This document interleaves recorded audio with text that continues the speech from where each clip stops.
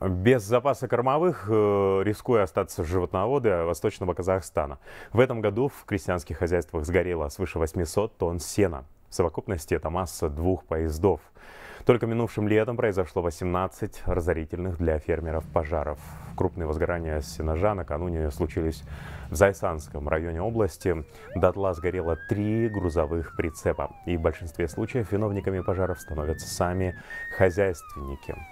По наблюдениям ДЧС игнорируются элементарные правила пожарной безопасности. Сено складируют в непосредственной близости к линиям электропередач, вдоль дорог у заборов.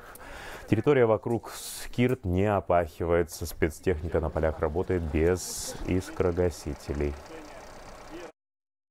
Чаще всего причиной становится неосторожное обращение населения с огнем и несоблюдение элементарных мер безопасности. Хотелось бы отметить, чтобы население, проводя э, работу на полях и при складировании сена, строго соблюдало правила безопасности.